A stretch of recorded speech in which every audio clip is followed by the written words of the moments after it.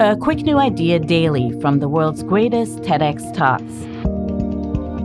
I'm your host, Atossa Leoni, and this is TEDx Shorts.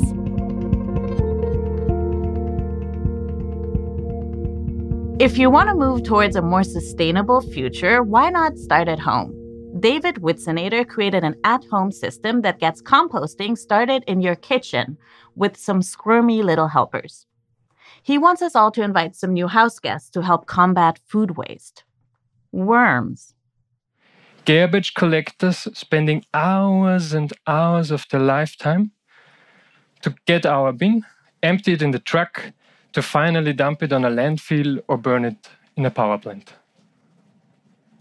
This little plastic bag full with waste, which seems to be so little, costs us so much energy, lifetime, and money. Now, I proudly present you the little animals who will help us to deal with our waste. Their scientific name is Eisenia foetida, better known as redworm, compost worm, or earthworm. Their ability is that they love to eat organic waste.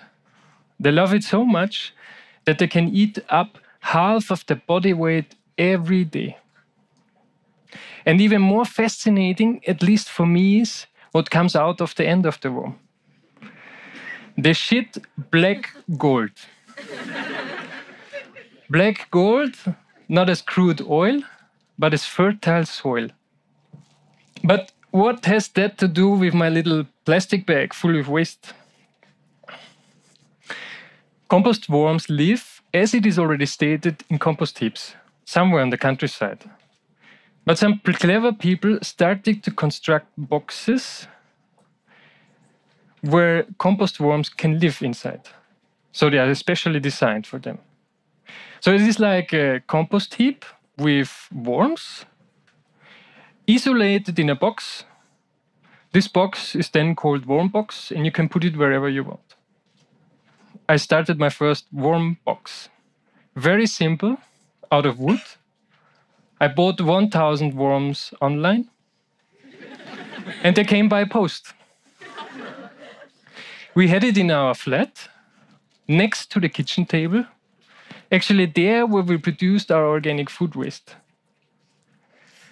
We were able to put all our organic waste plus a bit of cardboard and paper inside. You need to know that we were four vegetarians who were cooking at least one or two times per day at home. So we really had a lot, a lot of food. And every day we were impressed how much they can eat. what I'm trying to tell you here, I made a little experiment.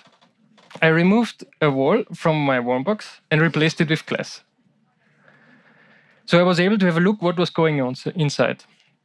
I filled up the box with organic food scraps, paper and cardboard, added around 700 worms, and then I observed it for the next few weeks. And day 21, nearly everything decomposed and transformed into black soil. I was amazed. But I guess before I go on, many questions rose in your head, so I will try to answer them. Yeah, first question Do the worms come out of the box at night? No, the worms prefer to stay inside because it's humid, dark, and full with waste. I'm sure this box is smelly. No, the box smells like soil from a forest. And when the box is closed, you not even smell the forest. So, but do I need to buy new worms after some time? No, the worms reproduce themselves in the box until they reach the maximum density. When they recognize that there are too many, they stop to reproduce and stay like it is. But what should I do when the box is full? Easy. You remove the worm castings and use it for your plants. Or if you don't have plants, you can give it to friends or you give it to a community garden farmers and scientists found out that its worm compost is one of the best ways how to provide plants with what they need. And maybe you're also asking how, how can I separate the worms from the compost? There's some very interesting techniques how to do it.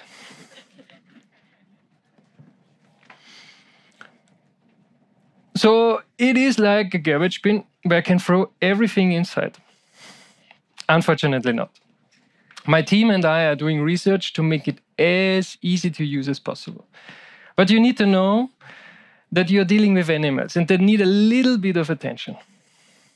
So, for example, they are vegan and they don't like so much spicy food.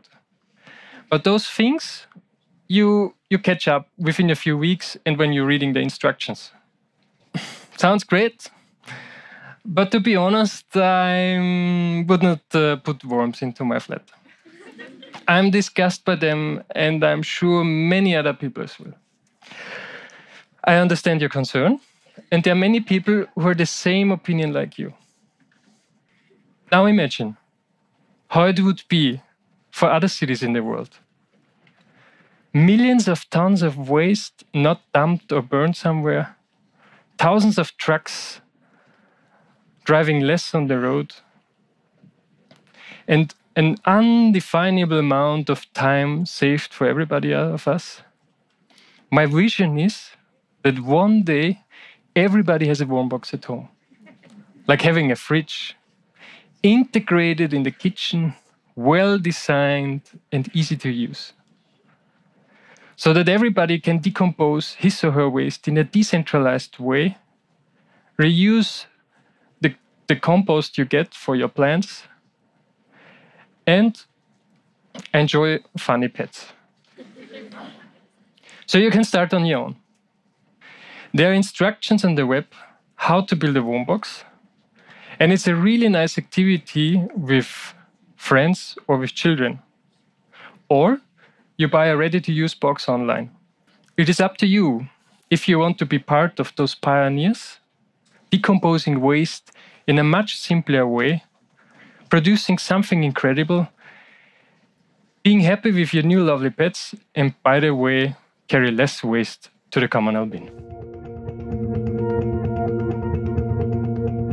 The TEDx talk you just listened to was recorded at a TEDx event in Vienna, Austria. All TEDx events are independently organized by volunteers who believe in TED's mission of ideas worth spreading.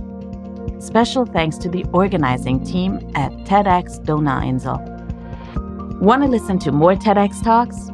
Visit our website at ted.com slash TEDxShorts. I'm Atossa Leoni. Thanks for listening and see you tomorrow.